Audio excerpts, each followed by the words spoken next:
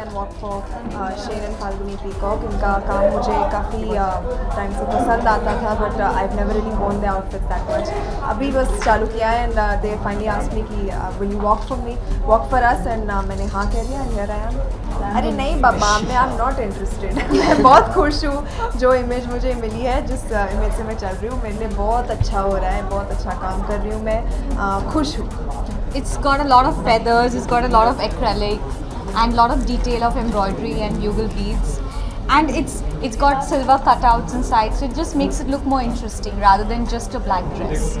मज़ा आता है क्योंकि ये एक दूसरा पहलू है अ, हमारे प्रोफेशन का ही फ़ैशन और फ़िल्म आज एक साथ जुड़े हुए हैं बहुत यू नो मजबूती से एंड अगर अ, कभी कभार मैं ये करना भी पसंद करती हूँ अ, क्योंकि मुझे कुछ अलग करने को मिलता है